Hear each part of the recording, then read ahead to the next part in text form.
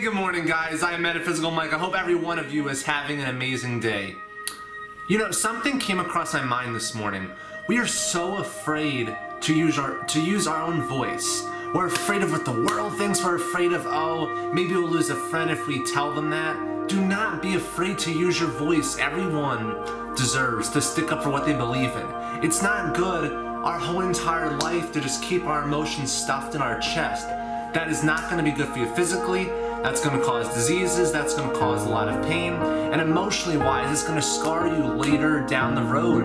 You got to use your voice. Don't be afraid to say how you feel. Speak the truth. Let the world hear your voice echo across the earth plane. It's okay if some people don't get you, but you got to realize that you have a voice. You can stick up for what you believe in. If you see something happen and you don't like it, something. Use your voice. God gave us a voice for a reason.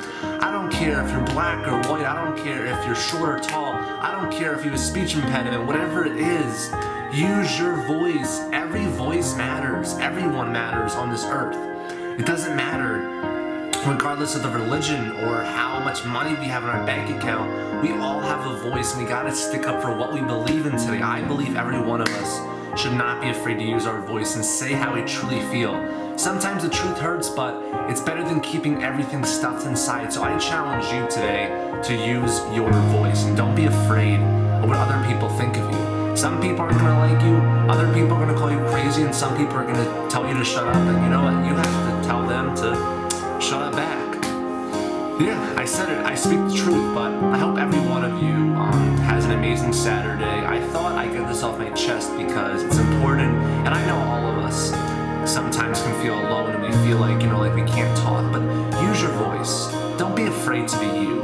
Because there's the, no one in the world can replace you. The original is better than the copy version of you. So the original you, the, the authentic you, is the you that the world needs to see. Don't be fake just to make it. Don't just try to impress people. Be the true you you know you came here to be on earth. I hope every one of you has an amazing day. Peace and love. And do me a favor.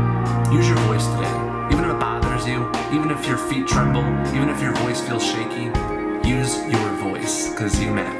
Have a great day.